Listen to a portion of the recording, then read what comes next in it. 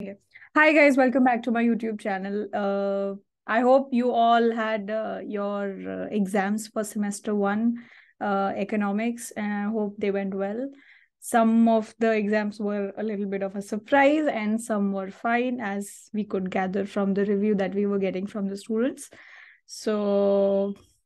yeah but yeah that ship has sailed. That's fine. So jaisa bhi hua it's fine. Now we are going to start with semester 2 so your classes must have also started from 20th of march for most people. Some of you might uh, start a little bit later depending on what course you have whether you're doing it from open or all the other things. So what we are going to do today uh, we are going to look at the syllabus in detail the new reading lists which have been uh, you know provided by delhi school of economics especially for the economics courses उसको हम लोग थोड़ा सा detail में समझेंगे और आपके course का कंटेंट क्या है books you have to refer what are the you know uh, different uh, topics that you have to do आपका एग्ज़ाम evaluation pattern क्या होने वाला है last semester में there was a lot of confusion that was there because uh, first time implementation and बहुत सारी चीज़ें late भी आपको reveal करी गई थी but this time uh, you know having read the entire reading list and the meeting details it seems like they have provided clarity uh, अच्छे से डिटेल में कौन से यूनिट से कितना मार्क्स का पेपर आने वाला है uh, आपका internal assessment, continuous evaluation, what all is going to happen. So that has been given in detail. So today we will be discussing the course for BA Honors Economics. So kindly note it's for BA Honors students for economics.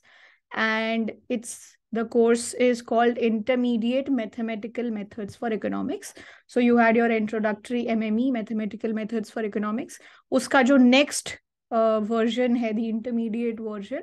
that is what uh, this course is about so iski sari jo details hain we are going to uh, look at those details so you know uh, I welcome you all and I wish you all the very best for your coming semester. This time you are a little bit prepared कि क्या होने वाला है. So, you know, more information, better preparation. So yeah, let's get started. All right. So first of all you know guys i'll i'll try to mention all the important points that are there. unko cover karne ki main koshish karungi and if you still have any questions you can just uh, you know write what is your doubt or anything in the comment box and i'll try to reply to you.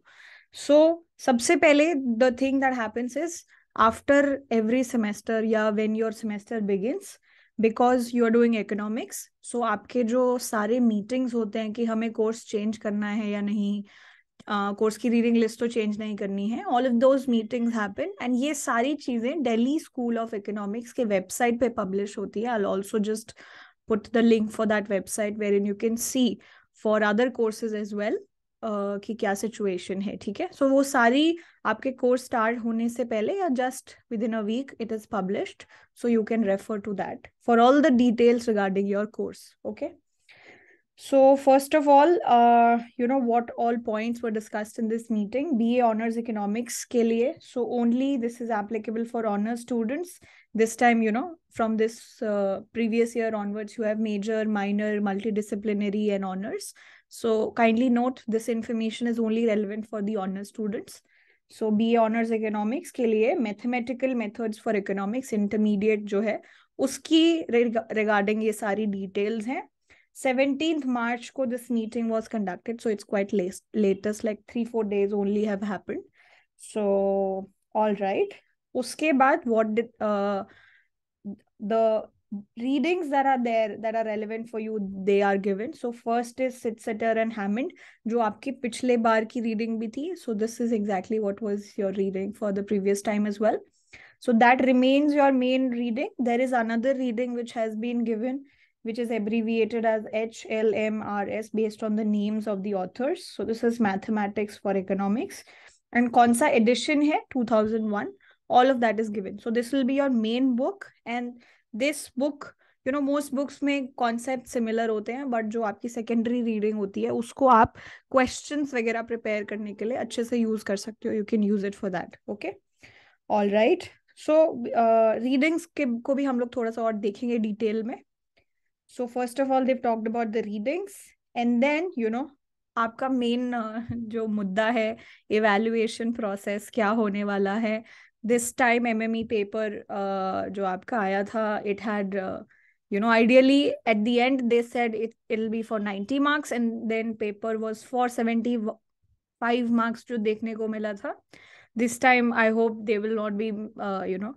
uh, changing it very very suddenly और जो detail में उन्होंने चीज़ें दी हैं सो so, आपका जो evaluation है वो बेसिकली थ्री पार्ट्स में डिवाइडेड है आपकी इंटरनल असेसमेंट आपकी कॉन्टिन्यूस असेसमेंट और आपका फाइनल पेपर सो जो भी आपके इंटरनल असेसमेंट है that will be for thirty marks उसमें क्लास टेस्ट है एंड अटेंडेंस है continuous assessment may they've written at least two written class tests or assignments adding up to a total of 30 rest five marks could be based on oral quizzes tutorials and it all depends on your teacher so you know if you have any questions or any queries regarding these two internal assessment and continuous assess Assessment the best person to discuss it with be your, would be your class teacher for that subject because it is at their discretion or कि वो किस तरीके से इसको proceed करने वाले हैं। And finally your final paper will be ninety marks ये आपका फाइनल एग्ज़ाम है। It will be for ninety marks as they are saying not seventy five जो हमें देखने को मिला था। It will be for ninety marks जैसे कि देखने को I mean whatever has been mentioned here ठीक है? अब जो सजेस्टिव पैटर्न है सजेस्टिव पैटर्न मतलब दिस इज़ द एक्सपेक्टेशन थोड़े बहुत माइन्यूट चेंजेस हो सकते हैं बट ओवरऑल चीज़ें ऐसे ही रहने वाली है। First of all they said आपकी जो अलग अलग यूनिट्स है रफली सबको इक्वल वेटेज दिया है। So if you have ninety marks paper अगर तीन यूनिट्स हैं तो thirty marks thirty marks thirty marks रफली थोड़ा बहुत चेंज हो सकता है that's fine but overall the pattern is going to be that ठीक है? Okay so that is the first thing second आपका जो पेपर है, वो तीन पार्ट्स में डिवाइडेड होगा part A part B and part C हर एक का वेटेज दिया है forty marks thirty marks twenty marks how many question and you know how many marks each question will be carrying ठीक है? Each part will have question from each unit so part A में जो तीन unit हैं, सारो, सबके question होंगे। Part B में भी we will have the same thing and part C में भी we will have the same thing ठीक है? and the questions or the parts will be with varying degree of difficulty so maybe you know based on the difficulty level they can add more and more question could be could be ho sakta hai part c may they have very difficult questions part b may intermediate and part a may beginner or usually this is what you can expect but uh, yeah अभी इसको देख के तो यही बताया जा सकता है ठीक है all right so that that was like just the brief overview of what your marks internals continuous end term और यूनिट्स के बीच में कैसे डिवाइडेड हैं चीजें अब आपकी जो एग्जैक्ट रीडिंग लिस्ट है जो आपको रेफर करनी है that is again S S H two thousand and two S H two thousand and two is just this book which is Sydsaeter and Hammond two thousand and two book so ये आपको refer करनी है ये आपकी main book है सारे concept सब चीज़ आपको यहीं से रेफर करने ठीक है? All right so okay so first unit will be linear algebra linear algebra second unit be function, functions of several real variables. And the third unit will be multivariate optimization, ठीक है? सो तीन units होने वाले हैं linear algebra functions of several real variables and multivariate optimization तो पहले आप first semester में पढ़ रहे थे, वहाँ पे लीनियर एल्जेब्रा के बारे में आपने कुछ भी नहीं पढ़ा था।